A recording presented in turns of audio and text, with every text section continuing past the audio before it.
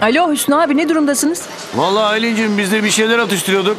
Ama sor bir sensiz geçiyor mu boğazımızdan diye. Gayet güzel geçiyor valla. Lokum gibi lokum. Afiyet olsun. Takipteki mafyözümüz vardı ya hani Nizam. Ha şu komik herif. Ta kendisi. Kredi kartını kullanmış abi. Nerede kullanmış? İnternet üzerinden alışveriş yapmış. Ne işimize yarayacak ki? Bilmiyorum. Bu arada kısa süreli bir sinyal aldık telefonundan. Sonra kayboldu sinyal. Ha bak o işe yarar. Adresi belirledin mi? Maalesef çok kısa sürdü yetişemedim. Olsun olsun. Yine takip edelim Aylin. Gelişme olursa bildir. Anlaşıldı abi.